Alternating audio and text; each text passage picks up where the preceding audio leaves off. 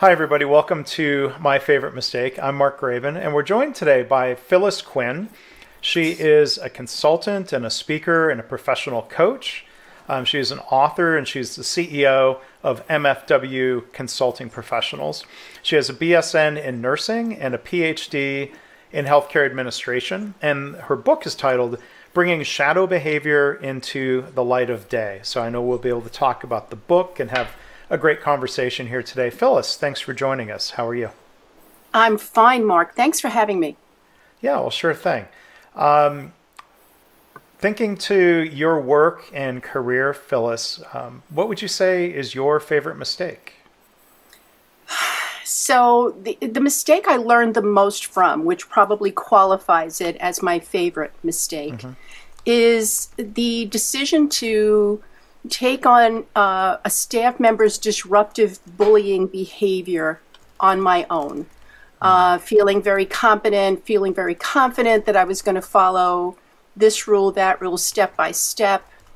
Um, didn't weave in human resources, didn't weave in administration until the situation got out of hand, and then I, mm. I you know, learned a, a, a, very, very severe lesson from that experience. It's my favorite mistake because from it, um, I've learned so very much and hope to share with your listeners tonight.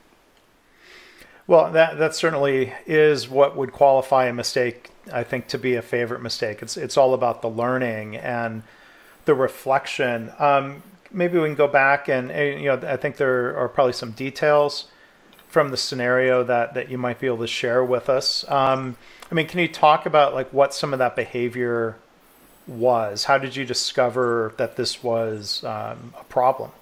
Yeah, so you know, uh, you know, one of the the things that's really important when you are a leader, and particularly important when you're a leader in healthcare, is that you try to create the healthiest work environment you possibly can. Mm-hmm. And the, the goal of all of that is to decrease the amount of distractions people have so they can focus on what they're doing.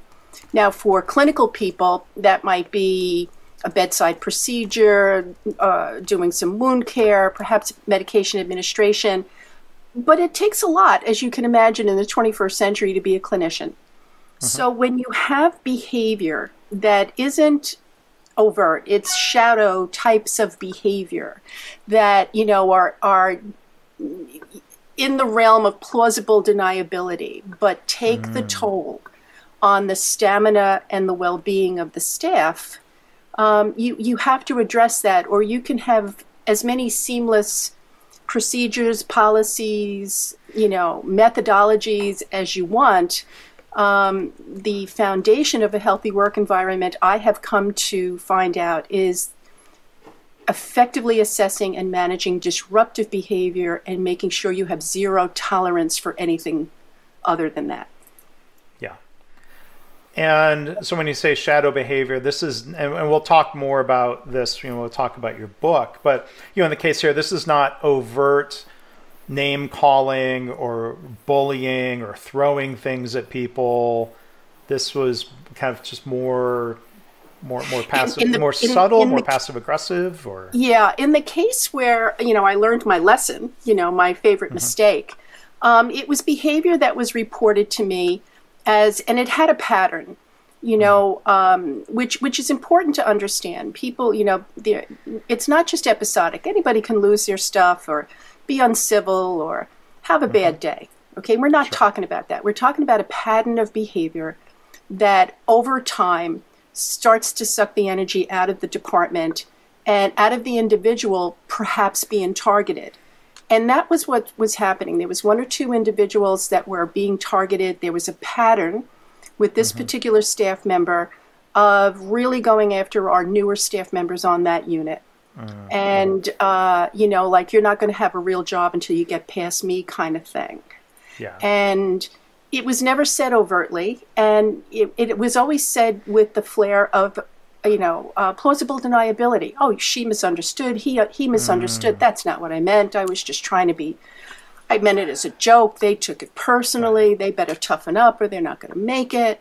Mm. You know, it was never the person, you know, being the bully's mm-hmm. responsibility. It was always everybody else misunderstood me. I'm a victim. Yeah. And so once that was reported to you and you were aware of it, I mean, thinking back, what do you think led to you trying to address it on your own as you as you described? So, you know, I I try to have a style of, well, you know, most of what we disagree on or most of what our issues are probably can be solved over a cup of coffee. Mm-hmm. And um, that's what I first attempted. I sat down with this person and, you know, I said, Can you have a cup of coffee with me and let's just talk? And I just want to give you some feedback, growth and development type of, you know, um, feedback that, you know, I'm hearing this and, you know, well, that's not what I intended. And I said, Of course not, which is why we're talking. I want to raise mm-hmm. your awareness that this particular pattern of behavior right. um, could lead people to see you in a light that you don't want to be seen in. And um, that person then promised me the sun, the moon, and the stars, told me exactly what I wanted to hear. And I came away from that experience thinking that I had done just in time intervention or just in time coaching. It was a teachable mm-hmm. moment. We both came away hopefully with a, a, a, a, more solid relationship, only to find out two days later that she reported me for harassment to human resources. She went to HR before you did. Yes. Yes. That's interesting. Yes. This sounds like somebody who maybe knew how to play the system a little bit or had been getting away with this for a while. And and you're going to find that that that happens that most mm-hmm. bullies on the unit are not newbies they mm-hmm. are, you know, um, part and parcel of the fabric of the department. People know about it. They don't talk about it. This has been going on for a while. Everybody wink, wink, nod, nod, nod knows that this person's an issue.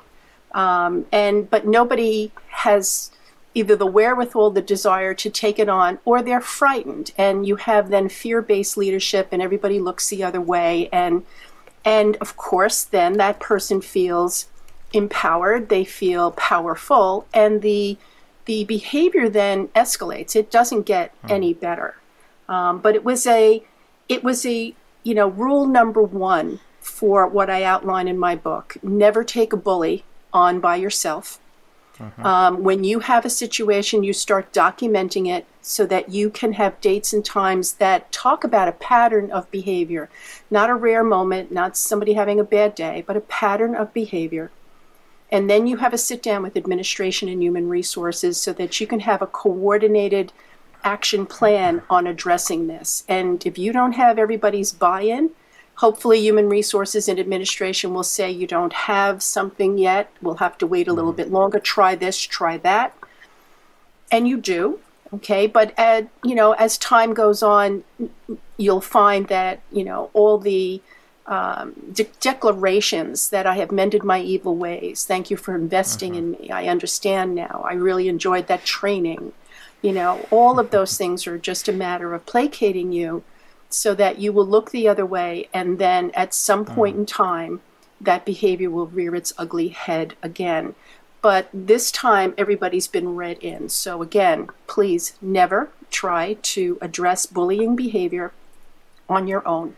You must have the coordination of administration and human resources in order to have an action plan that will not just address the issue, but keep you safe while you're doing your job. Yeah. So, in that scenario, you described an approach to me. It sounded like you were trying to be, you know, a, a coach. Um, that you were giving that bully maybe the benefit of the doubt, and like, mm-hmm. here, let me help you be aware. You, um, yep. like it's not a very nice word on my part, but clueless. They might have been clueless. Right.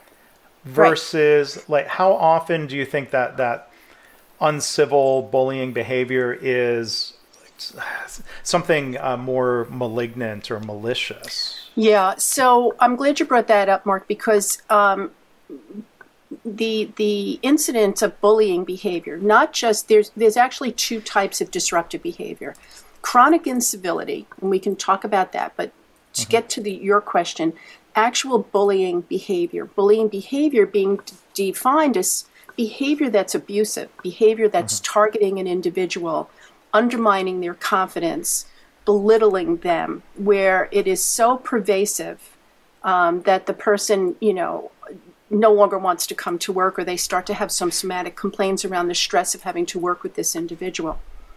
And you would, you know, the, the, the, the paradox is, is you would think that in a caring profession such as healthcare, mm-hmm. um, that this wouldn't happen. We're all professional caregivers, when in fact, um, it is pervasive. And um, mm-hmm. not to the point where it's 50%, but from the from speaking across the country to nurse executives, um, we're pretty much in agreement that about 5% of our staff indulges in what we would call that type of bullying behavior. Wow. Um, kind of like the analogy of why do you rob banks? Because that's where the money is.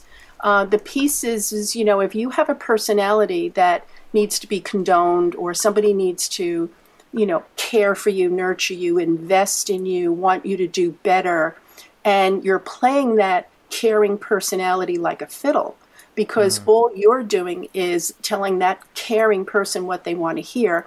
They feel as though they have done their job of caring and being a good transformational leader so well. And then they just go right ahead and continue mm. doing that. And what you've done is actually um, push the finish line further.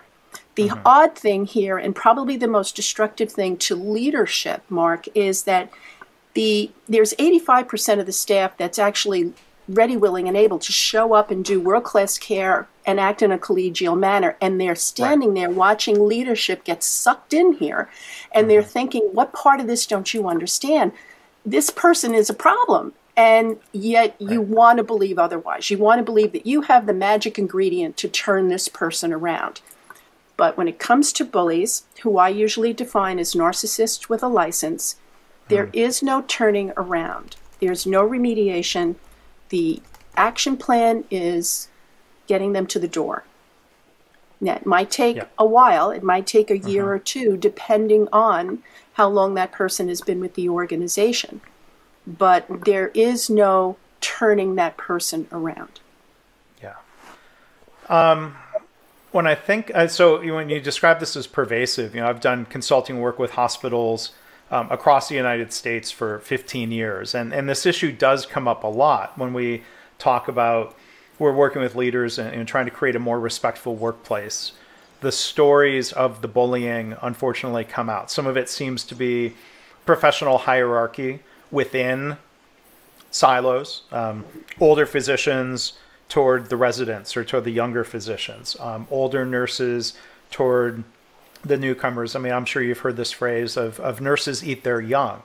Oh yes, I'm trying to stamp uh, that out. Yes, I've heard it. Yeah, no, and and and I appreciate that you're working on that. Right, um, but it's like true. not to make and and not to make excuses for anybody, but trying to think of why some of this happens. I mean, I wonder how much of this flows through.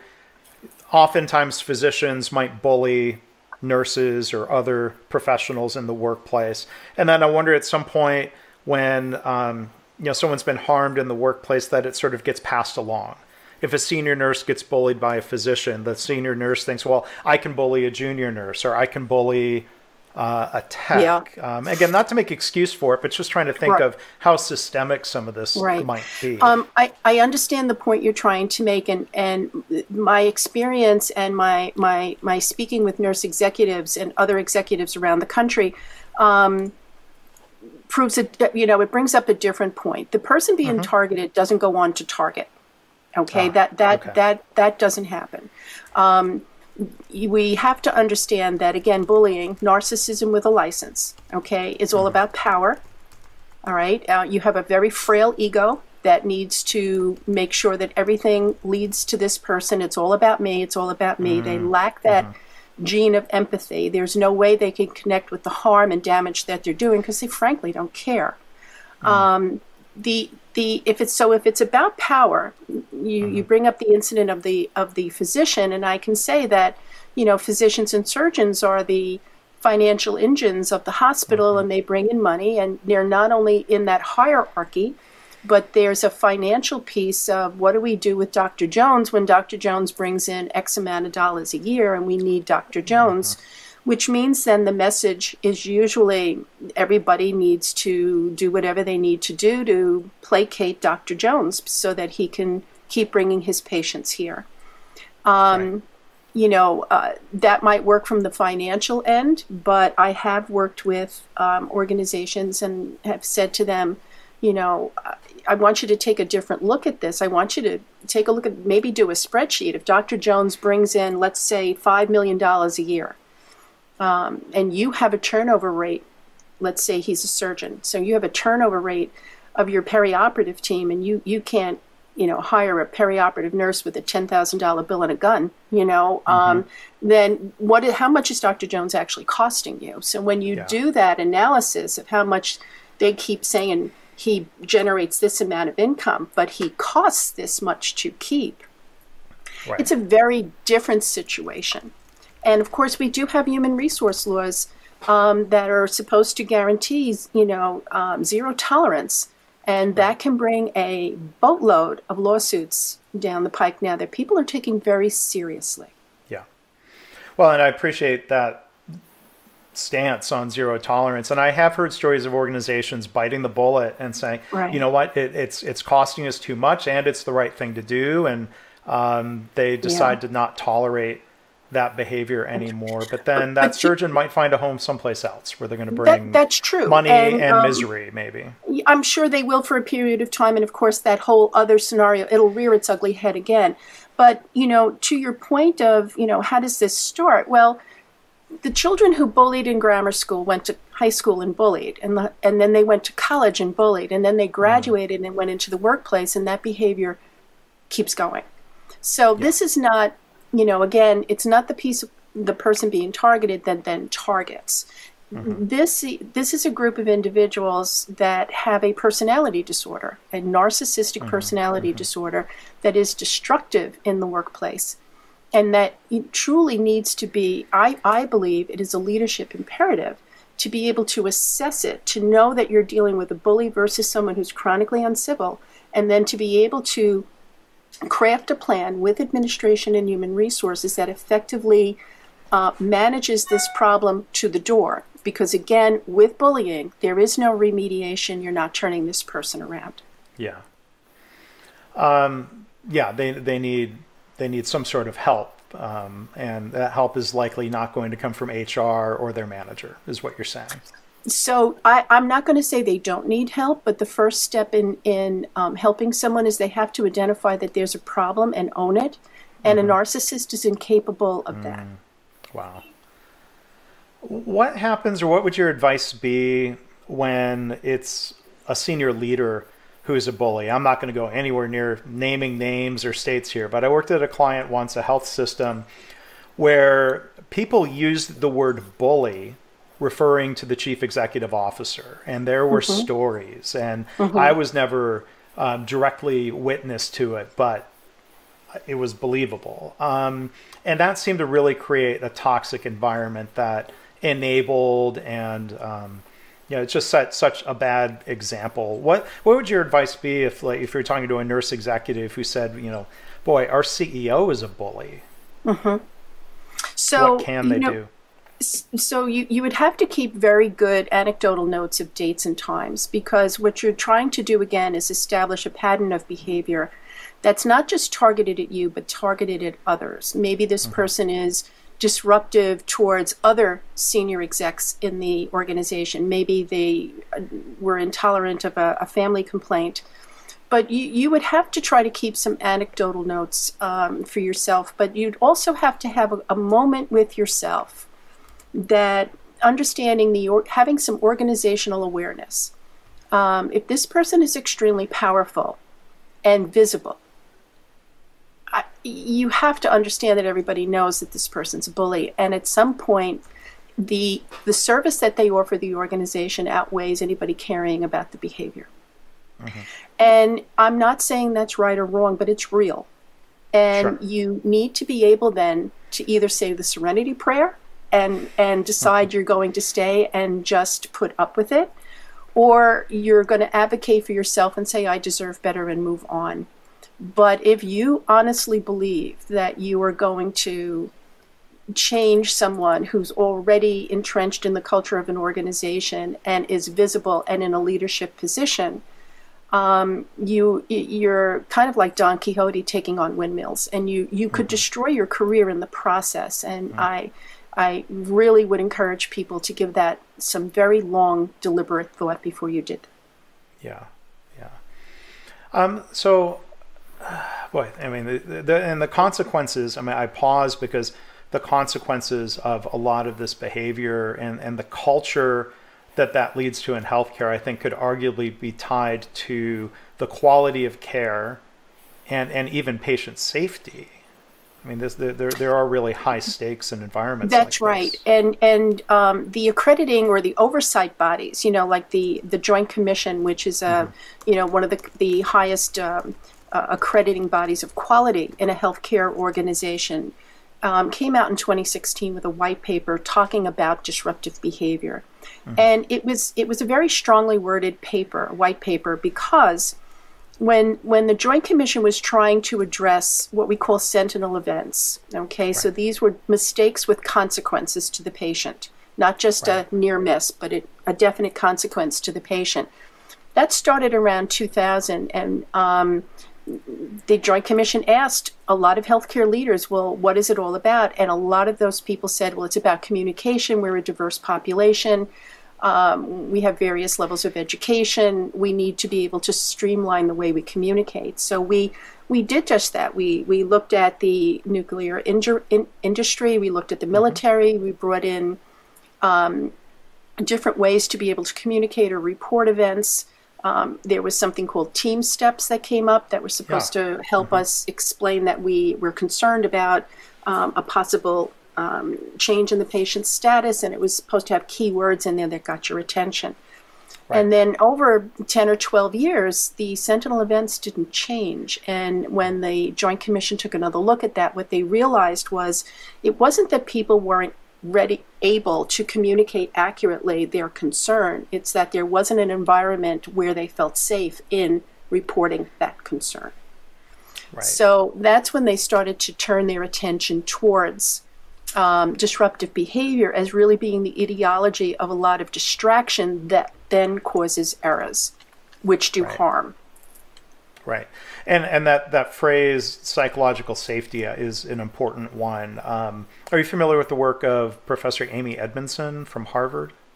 I'm not. She's she's written a lot about psychological safety, and she was involved in studies in healthcare. I'll uh, I'll shoot you some uh, uh, links to, to her work great. on, Thank on you. that. And um, I'm hoping, I, have interviewed her in a different podcast. I'm hoping to bring her onto this series and, and talk about, um, you know, this idea of learning from mistakes and doing so requires that we, and I think this is where the title of your book resonates with me, bringing shadow behavior into the light of day. Whether right. that behavior is in the shadows or whether there are safety or quality risks that are in the shadows, if we don't make it psychologically safe for people to speak up, we, we yes. can't we can't do anything about it. So I was wondering that, if you could that, elaborate on right. what leaders can do to make yeah. it safe, not just say you need to bring this behavior to light right. in a way that might be risky. So I, th- I think the number one thing that leaders can do um, is really be visible. All right, that you know the the whole idea of leading from behind your desk has come and gone. Mm-hmm. And um, we, we learned this even through the pandemic. The staff that saw their leaders the most often was the staff that had the greatest sense of um, backing, and it really helped their resilience. Um, mm-hmm. So the, the staff needs to see you. The staff needs to know that you're concerned. You have to take a look at your staff. You're, when you do rounding, you're not just going to meet and greet your patients and perhaps their families, but you want to ask your staff, how's it going, you know, what's going on, and so on. And you're going to start to notice a little bit of a pattern. You know, you want to you want to take a look at sit with your departmental leaders, look at time and attendance, and, and look at the fundamentals. So, as I shared with you before, there's two types of disruptive behavior. So, somebody who's chronically uncivil is that person who can never get to work on time. You know, they can't get back from break on time. They can never do their work independently. Uh, there's always an excuse. And then, of course, when you're trying to collect your thoughts and have a cup of coffee, all they want to do is talk about their personal life. They're just, they have low emotional intelligence and they don't realize that it is work and effort to be around them in the workplace. But they're not trying to cause harm to you. They're not trying to target you, belittle you, abuse you, or make you feel less um, capable and competent. They're just have no awareness and insight. Yeah. Um, you you really have to work with those souls and make sure that they understand that that's just unacceptable because the amount of attention and wear and tear that takes on the staff is incredible. And again, these pat these behaviors have patterns to them, and it's always something. And you know you want to get in there early and especially with your new hires you know there's usually a probationary period and it might be three months i'm an advocate for the six month probationary period because you know even when you're dating someone everybody can be good for three months. Six months usually tells you if you got a winner or not you know? So you want to you want to sure. date your employee for six months and not three months before you decide to take the next step. Um, be, with the bullying behavior though um, one of the key assessment findings I have for this narcissist with a license, it's this bully, is that they, they are so enthralled with themselves and they feel that they're so very, very special that they, mm-hmm. they demand special accommodations. They will talk about their seniority a lot. They will talk about mm-hmm. what they do. They will talk about, you know, you can't orient somebody if it's if I don't orient them. You know, if mm-hmm. I don't say they're good enough, they're not good enough. And you might think that's a joke, but it's not. They're trying to yeah. tell you something. Um, they will also leapfrog authority, and that is the number one, I believe, hallmark sign of a bully is that you'll have a staff person and you'll have a middle manager. And their view of the middle manager is, well, you can't be any good because you're just a middle manager. Mm, you know, gosh. so they leapfrog the middle manager and either go to the director or the administrator. Mm-hmm. Um, and they're notorious for that. And you can restate structure all you want, but they honestly believe that they're so special that the only person who can understand what they're saying is someone in yeah. power who is special too. Mm-hmm. So if you've got someone like that, you probably have a bully. You probably have a bully who could care less if they hurt your feelings, you know, leapfrog, broke protocol. It's all about them and how it serves them. Yeah. And so, um, Phyllis, you know, you told your story about being a leader, and now you're, you know, through your book and through your consulting and coaching, you're trying to help other leaders you know, I like in, in the description of the book and what you do, um, you know, you're not blaming people for being bad managers. You're pointing out maybe a lack of training or a lack of development. So if you could share or a little bit more you're just that. a professional caregiver and you you care a lot you know so the the piece is is no this is not about a bad manager and this is certainly right. not about a dysfunctional leadership structure what this right. is is really understanding what you're looking at so quite honestly, for all the education we have as healthcare providers, except for our sainted colleagues in behavioral health, we get very little training on behavior. And, you know, if even in an emergency department, which is my clinical specialty, if I was to say to someone, do you do you want three gunshot wounds or do you want someone who's emotionally disturbed or having a, a an anxiety attack most nurses will go for the gunshot wounds because we're not really good at managing aberrant behavior or disruptive behavior. People yeah. back away from that. So, what we need to do is really bring up our knowledge base about what we're dealing with. Once you understand that a bully is a narcissist and you start to make yourself more aware, which is what I did along the way, is train myself and, and really become astute in how narcissists think and therefore act. Well, then you, it's like understanding a disease. You're getting ahead of it now. You know how to plan for it, yeah. you know how to anticipate, you know what works and you know what doesn't, so that you not only assess better, you mm-hmm. assess and then intervene earlier and you put your plan in place that's airtight so that once you get this person to the door, it stands up against arbitration. Yeah. Wow. Um, so with the book, and again, our, our guest is Phyllis Quinlan. She's uh, a nurse. She has a PhD in healthcare administration, and the book is titled "Bringing Shadow Behavior into the Light of Day." Do you think there's, or have you seen, is there a broader audience for the book beyond healthcare leaders? Unfortunately, yes. Um, yeah. You know, uh, bullies exist in every work venue. Um, I'm, I'm hard pressed to think of a place that bullying doesn't exist. So um, I think now, especially as we're coming out of this pandemic and we're restructuring, um, and everybody's trying to figure out what the workplace is going to look like, um, I, I think that we really have to lean into trying to create the healthiest workplace that we possibly can. And of course, that means you want to focus on communication and collaboration, making sure you recognize your people appropriately.